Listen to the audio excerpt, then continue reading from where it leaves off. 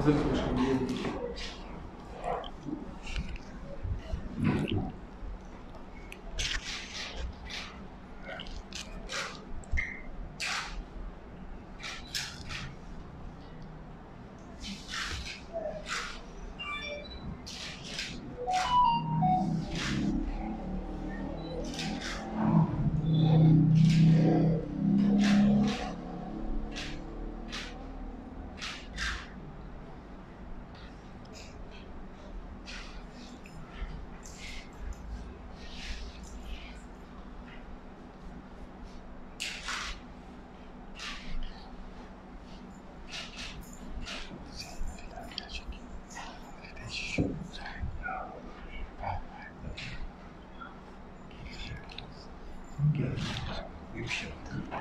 Değerli basın mensupları, değerli Aksal Spor sevdalıları, geçtiğimiz hafta gerçekleşen Aksal Spor Olağan Genel Kurulu'nda tekrar başkanlığa seçilen Evren Özbey ve yönetim kurulunu tebrik eder.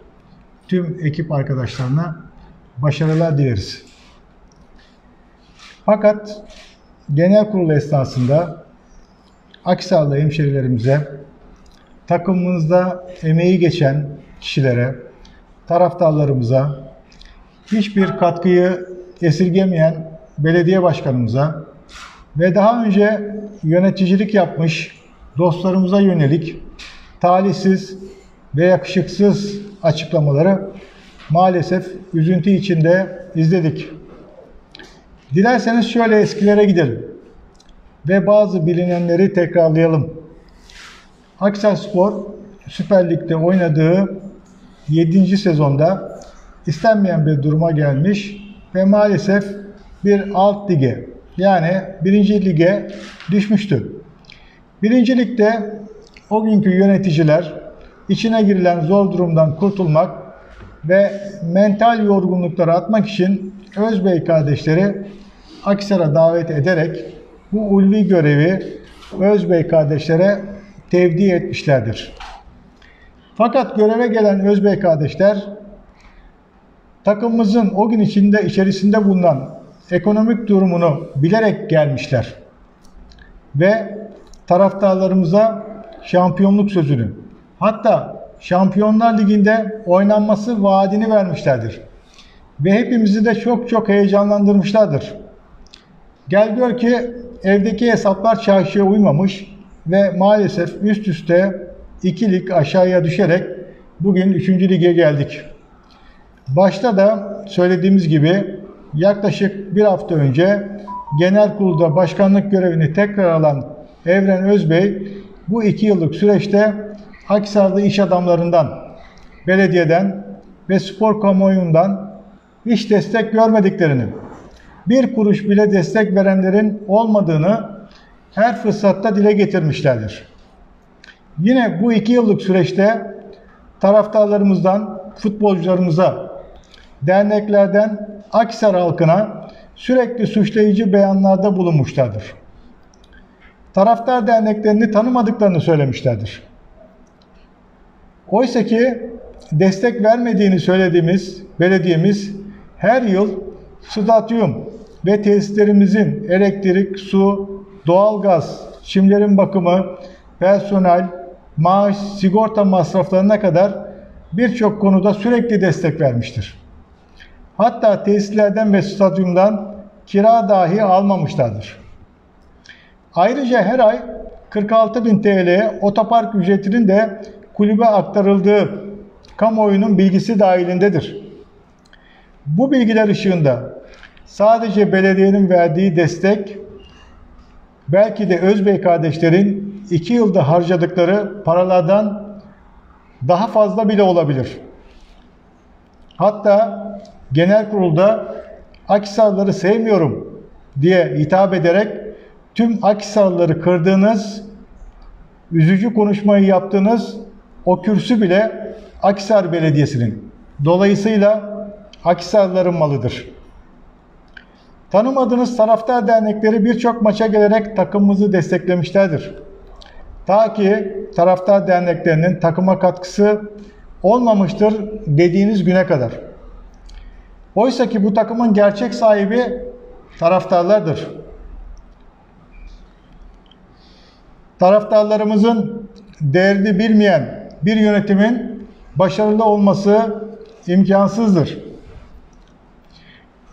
Özetle bilerek para harcamak ve üst çıkabilmek ve Akisar'ın marka değerini yükseltmek için aldığınız bu görevde size fazlasıyla değer verilmiş. Ama siz İstanbul'dan geldiğimiz için halkın kendinize değer vermediğini, ekonomik anlamda kimsenin para vermediğini defalarca bize söylediniz. Hiçbir takım bizden büyük değildir. Ama lütfen büyük takımlara, İstanbul takımlarına ve seçilen başkanlarına bir bakın. Hangi başkan taraftarlarının kendilerine para vermediğinden yakınıyor? Yine takımımızı en yüksek noktalara taşıyan bazı eski yöneticilerimiz hakkında söylediğiniz sözler Aksar halkı tarafından tam anlaşılmamış. Anlaşılmamış. Neden böyle söyle, sözler söylendiği ile ilgili herkesin kafasında sorular oluşmuştur. Belki de bu eski yöneticilerimizin de konuşma vakti çoktan gelmiştir. Gelelim takımımıza. Acaba 2 yılda GEKAS'ı da katarsak 5 teknik direktör, forma yüzü görmeyen onlarca futbolcu getirilmesinde suçlu kimdir? Elimizdeki kaliteli futbolcuları kulübümüzde tutamayan kimdir? Genel kurul sonrası olumlu bir sayfa açacağız diye belirttiğiniz günün akabinde 8 Akisarlı futbolcu kardeşimizin baklava yemelerinden dolayı kadro dışı kalması doğru mudur? Suç kimdedir? Maaş ve ücret almadan hizmet etmeye çalışan ve hain ilan edilen futbolcular olduğu doğru mudur? Ulusal medyada hiç futbol oynamamış kişilerin Aksa Spor'a transfer edilmesi gibi sansasyonel haberlere konu olmamızın ve marka değerimizin yerle bir edilmesinin suçu kimdedir? Sonuç olarak Akisar TÜRFAT yönetimi olarak, Akisar sevdalıları olarak son genel kurulda ben de Akisarları sevemedim diyen Sayın Başkan Evren Özbey'in Akisar'dan ve Akisarlardan bir özür dilemesi gerektiğini, verdiğiniz şeffaflık sözü üzerine üyeliklerin bir an önce açılmasını, İstanbul'la İstanbullulardan değil, bu takımın gerçek sahibi olan Akisarlardan üye yapılmasının önüne açılması, altyapıya değer verilip Akisarlı gençlerin önünün açılmasını, kadro dışı bırakılan genç evlatlarımızın affedilmesini, altyapıda görev yapmış hocalarımızın hak ettikleri bu göreve tekrar getirilmesini, taraftarlar ile bir an önce bir araya gelerek fikir alışverişinde bulunulmasını, taraftarlarımıza gereken değerin verilmesini, tahtanın bir an önce açılarak takımımızı üst liglere taşıyacak futbolu, futbolcuların transfer edilmesini, kulübün mali yapısı hakkında şeffaf olunarak kamuoyuna bilgi verilmesini, Aksel Spor'da emeği geçen eski futbolculardan, eski yöneticilerden görüş alışverişinde bulunulmasını, gerektiğinde bu kişilere görevler verilmesini, futbol kamuoyu adına ilgili yönetim kurulundan istiyoruz. Unutulmamalıdır ki Aksar şehri taraftarı ile, halkı ile, sivil toplum kuruluşları ile bir bütündür. Aksar'ın yeni bir oluşum gerçekleştirebilecek inancı ve kudreti vardır. Aksar'ın 1878 ruhundaki gibi enerjisi, dinamizmi, canlılığı vardır. Gerekirse küllerinden yeniden doğmayı bilecek kadar spor kültürüne de sahiptir. Aksel spor sevgisi her şeyin üzerindedir. Selam ve saygılarımızla. Teşekkür ederiz. Şimdi arkadaşlar e, basın açıklamamızdan sonra şunu belirtmek isterim. E, özellikle bu akşam bizlerle beraber olan oda başkanlarımıza çok teşekkür ediyoruz. Taraftar derneklerimize çok teşekkür ediyoruz. Ve Aksel Spor sevdalısı arkadaşlarımıza çok teşekkür ediyoruz. E, hepimizin bildiği gibi oda başkanları da birer sivil toplum kuruluşlarıdır. Bizce oda başkanları sadece odalarıyla ilgili konularda değil, Akisar'ın tüm sorunlarında bir araya gelip çözüm aramalıdırlar diye düşünüyoruz. Bu yüzden Akhisar Spor'da bizim Akhisar'ımızın en büyük sorunlarından birisi. Bizlerle beraber olduğunuz, çözüme ortak olduğunuz için oda başkanlarına ayrıca teşekkür ediyorum. Basın mensuplarımızın soruları varsa alabilirim. Başkanım şu anda e, yetki olarak geçtiğimiz günlerde kulüpler bir açıklama yapıldı ve İsmail Hocaoğlu şu anda Evet. şehirdeki görüşmeleri gerçekleştirmek adına kulüpten yetki aldığını duyurdu. Ee, sizle bir görüşmesi oldu mu? Hem kulüpten destek amaçlı hem de Oldu. o da bir yönetim oluşturma peşinde Evet. size geldi mi? Oldu ama burada da büyük bir çelişki görüyoruz. Şimdi e, Başkan Evren Özbey'in açıklamalarında e, birlik ve beraberliğe en ihtiyaç duyduğumuz şu anlarda diye başlıyor. E, bunu söyleyen bir insan genel kurulda o konuşmaları, o suçlamaları yapmaması gerekir. Gerçekten de takımımız birlik ve beraberliğe şu an çok ihtiyacı var. Ama bu tür demeçlerle, bu bu tür söylemlerle maalesef birlik ve beraberlik yerine daha da ayrı- ayrıştırıcı oluyorlar. Halkımızı resmen kulüpten soğutuyorlar. Şimdi İsmail Hocaoğlu aradı bizi, bizden destek istedi. Ama biz de şunu söyledik. Önce samimiyetinizi görelim. Önce gerçekten Hocaoğlu'nun bu kulüpte bir sözü var mı? Yoksa perde arkasından Evren Özbeyler tekrar yönetip İsmail Hocaoğlu'nu kullanıyorlar mı? Bunu gör, bir görmemiz gerektiğini. Gerçekten size bir görev verilirse ve Aksar'daki tüm spor severlerle iyi ilişkiler kurarsanız, yönetimde onların da görüşlerini alırsanız seve seve size destek vermeye hazırız dedik. Ama bunları görmemiz gerektiğini belirttik. Sağ olun başkan. Diğer başkanlardan konuşacak olan var mı? Arkadaşlardan Evet arkadaşlar. Biz Akhisar halkı adına buradayız. Ülkemizi de seviyoruz. Doğusundan batısına, güneyinden kuzeyine kadar memleket bizim. Bu tür konuşmaların e, kimseye faydası yok. Toplum nezdinde de şu anda Akhisar halkı tarafından nefretle bu olay genel kurulda yapılan konuşma. Bence e, Sayın Başkan'ın memleketini de seviyoruz. Komşumuzu da seviyoruz. Komşu köyü de seviyoruz. O yüzden bir an önce e, Aksar halkından özür dilemesi lazım. Yaptığı hatayı telafi etmesi lazım.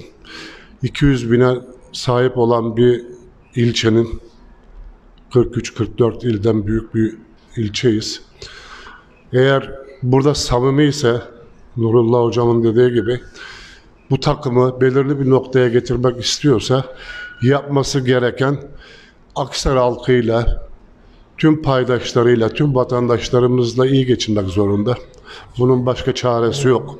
Yöneticilik kolay bir iş değil. Kimseye hedef gösteremezsiniz. Kimseyle kavga etme şansınız yok. Bir vatandaş da olsanız, bir kurumun başında da olsanız, bir belediye başkanıyla da olsanız hiç kimseyle kavga etme şansınız yok. Eğer Aksar Spor'u belirli bir noktaya getirmek istiyorlarsa bir an önce bence Aksar halkından özür dileyip hatasını telafi etmesi lazım. Teşekkür ederim. Evet, gerçekten başkanımızına katılıyorum. Şimdi birlik ve beraberlikten bahsediyorsa bunu ispat etmesi için öncelikle Aksar halkından, belediye başkanımızdan, belediyeden ve spor severlerden kesinlikle özür dilemesi gerekir. Bu adım atılırsa ondan sonra biz samimiyetine inanırız başkanım. Başka arkadaşlar soru soru varsa alabiliriz gene. Bizim başkan. Sarı Başkanı da geldi bu arada. Hoş geldiniz. Hoş geldiniz başkanım. Şurada ortak bir şey karar almak lazım. Ee, İsmail Hocaoğlu başkanlığına e, İsmail Hocaoğlu'nun başkanlığı demeyelim de yetki verilmesine ne kadar inanıyoruz? Buradan bir hafta geçmeden hemen direkt ona yetki verip de sahaya sürmeleri bir kafa karıştırıyor. Bence. İşte yetki değil de ne niyetlerini yani şeffaf olması lazım bir. Bundan evvelki şeylerde basın açıklamaları yapmadılar. Yani en azından hiçbir bilgi verilmedi bu e, Özbek kardeşlerin bulunduğu dönemlerde. Yani en azından şeffaf olabilirler, basın açıklamaları yapabilirler sık sık. Şu oldu bu oldu hani içindeki şeyleri açıklamasa bile bazı şeyler açıklaması olur. Mali şeyler açıklaması lazım. Ama ben İsmail Hocaoğlu'nun e, burada görevi nedir? Ondan yani tam kuşku duyuyorum. Emin değil. Teşekkür Değerli ederim. arkadaşım İbrahim, e, şimdi bir kişiye yetki verilmesi resmi belgeye dayanması lazım. Yani yetkili Şimdi daha üye için. değildi İsmail Yani Hocaoğlu. belgeye Yani- dayanması lazım. Ha ben bunu görevlendirdim, Şifaya- onu görevlendirdiler. Bu işler olmaz. Ben yani şimdi şeffaf olmak için ne yapmak lazım? Bir kişiye görev verirsin ama onun da resmi belgesi olması lazım. O yüzden e, şu etapta çok ciddi dedikodular var piyasada. Bir an önce e, bu dedikodular hem Aksar halkına hem Aksar Spor'a zarar veriyor. Bir an önce değerlenip toparlanıp dediğim gibi ilk önce Sayın Özbey'in Aksar halkından özür dilemesi lazım. Ondan sonra birlik beraberlik istiyorsa, koşullar da uygun olursa, gerçekten niyetleri de iyi niyetliyse bu Aksar halkı her zaman onlara yardımcı olur diye düşünüyorum. Niyetleri iyiyse biz de onlara her zaman kucak açma hazırız. bizim e, öznemiz Aksel Spor. Aksel Spor için faydalı kim iş yapıyorsa biz daima yanındayız. Daima arkasındayız. Biz Evren Özbeyler ilk geldiği zaman da söyledi. Doğru işler yaptığınız zaman her zaman yanınızdayız. Ama yanlış yaptığınız zaman da bu yanlıştır diye söyleriz ve tavır alırız diye belirttik. Aynı çizgide duruyoruz biz arkadaşlar. Ve şu da unutulmasın son paragrafta da belirttik. Bu Aksar'ın her zaman gücü vardır. Yani Aksar e, diyelim ki amatöre düştü. Amatöre düştükten sonra karalar bağlayıp bir kenara çekilmeyeceğiz. Aksar'ı tekrar küllerinden yeniden ortaya çıkaracağız. Çünkü Aksar'da gerçekten güvenilir bir yönetim oluşturulursa bu Aksar halkı da, Aksar'daki iş adamları da, belediyede, tüm kurum ve kuruluşlar da tamamen destek vereceğine ben inanıyorum. Ve bu destekle de yeni bir ruhla yeni bir Aksaspor'un ortaya çıkacağına da inanıyorum. Bu arkadaşlar bu işi bence bir an önce bıraksınlar diyorum. Paralarını alıp gitsinler. Çünkü bu işi yapamayacakları belli oldu arkadaşlar. Zaten belediye şu anda destek olmasın, e, kapı gücüne bile çıkacaklar inanın. Tabii ortada Yani yani. evet. ama Yani şimdi tabii biz e, bunları iki senedir söylüyoruz.